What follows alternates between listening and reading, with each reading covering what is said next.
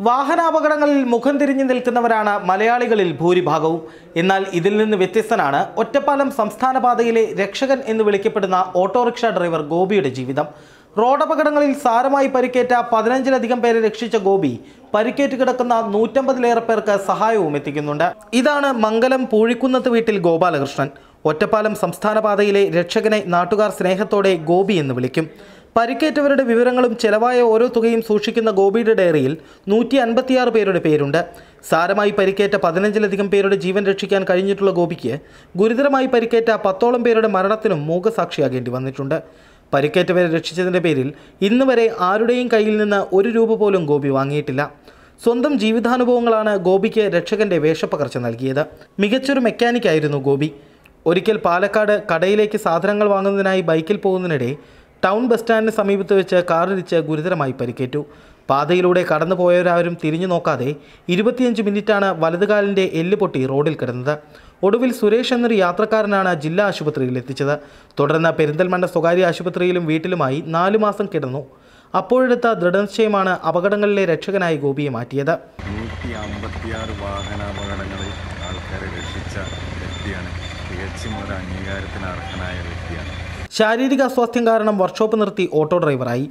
ദുരന്തമുഖങ്ങളിൽ നിന്നും തന്റെ ഓട്ടോറിക്ഷയിൽ തന്നെയാണ് ഗോപി രോഗികളെ ആശുപത്രിയിൽ എത്തിക്കുന്നത്. അത്യാവശ്യ ഘട്ടങ്ങളിൽ മാത്രം ആംബുലൻസ് അടക്കമുള്ള മറ്റു വാഹനങ്ങളുടെ സഹായം തേടും. ആദ്യഘട്ടത്തിൽ ബന്ധുക്കളോ സ്വന്തക്കാരോ എത്തുന്നതുവരെയുള്ള ആശുപത്രി ചെലവും ഗോപി തന്നെ വഹിക്കും. ഇൻഷുറൻസ് ക്ലെയിം ലഭിച്ചാൽ ചില ആളുകൾ പണവുമായി വരാറുണ്ട്. പക്ഷേ എല്ലാം സ്നേഹപൂർവം നിരസിക്കാറാണ് പതിവ്. എന്നിട്ട് അവരോട് ഒരു ഉപദേശം കൊടുക്കും. പണം വേണ്ട. പകരം നാളെ ആരെങ്കിലും ഇത്തരത്തിൽ അപകടത്തിൽപ്പെട്ട് റോഡിൽ കിടന്നാൽ അവരെ ആശുപത്രിയിൽ എത്തിക്കാനുള്ള സന്മനസ് കാണിച്ചാൽ മതിയെന്ന്. ഗോപി ഇതിലേക്ക് ഇറങ്ങിത്തിരിക്കാനുള്ള കാരണം? ഞാൻ എന്റെ സ്വന്തം അനുഭവമാണ്. ഇതിലേക്ക് തിരിക്കാനുള്ള കാരണം പാലക്കാട് വെച്ച് ആക്സിഡന്റ് പറ്റി ഇരുപത് മിനിറ്റോളം റോട്ടിൽ കിടക്കുകയും പിന്നെ അവിടുന്ന് സുരേഷ് എന്ന് പറഞ്ഞ ഒരാളാണ് എന്നെ കൊണ്ടുപോയി നടന്ന് ജില്ലാ ആശുപത്രിയിൽ കൊണ്ടുപോയി ഒരു എട്ട് മാസത്തോളം ചികിത്സയായി കിടക്കുകയും ചെയ്തു. ഒരു പ്രതിഫലം ആഗ്രഹിക്കാതെയാണ് ഇത് ചെയ്യണത്. ആരുടെ ഒരു രൂപ പോലും പാലക്കാട് പതിനാലാം മൈൽ മുതൽ പാലപ്പുറം വരെ അപകടമുണ്ടാകുമ്പോൾ ആദ്യ വിവരം കിട്ടുന്നതും ഗോപിക്ക് തന്നെയാണ്. വിവരം കിട്ടിക്കഴിഞ്ഞാൽ അടുത്ത നിമിഷം തന്നെ ഗോപി അപകട സ്ഥലത്തെത്തും പത്തോ പതിനഞ്ചോ മിനിറ്റുകൾക്കുള്ളിൽ ആശുപത്രിയിൽ എത്തിച്ച ശേഷം പോലീസിനെയും ബന്ധുക്കളെയും വിവരമറിയിക്കും. പലപ്പോഴും രാഷ്ട്രീയ പാർട്ടി പ്രവർത്തകർ തമ്മിലുണ്ടാകുന്ന അടിപിടികളിലും കത്തിക്കുത്തിലും പരിക്കേറ്റവരെ ആശുപത്രിയിൽ എത്തിക്കുന്നതും ഗോപിയാണ്. ആശുപത്രി അധികൃതരും പോലീസും നാട്ടുകാരുമൊക്കെ ഗോപിക്ക് പിന്തുണയുമായി കൂടെയുണ്ട്. രണ്ടായിരത്തി പതിനാലിൽ ഐ ജി ഗോപിനാഥനും ഒറ്റപ്പാലം പോലീസും നിരവധി തവണ ഗോപിയെ ആദരിച്ചിട്ടുമുണ്ട്. ഇതോടൊപ്പം ഗുരുതരമായി രോഗം ബാധിച്ച് കിടക്കുന്നവരെയും ഇദ്ദേഹം വീട്ടിലെത്തി സഹായിക്കുന്നു.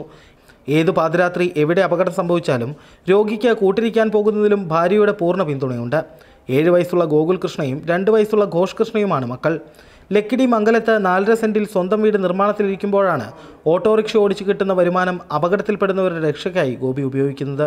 അർജുൻ സിവനജ് മറുനാടൻ ടി കൊച്ചി.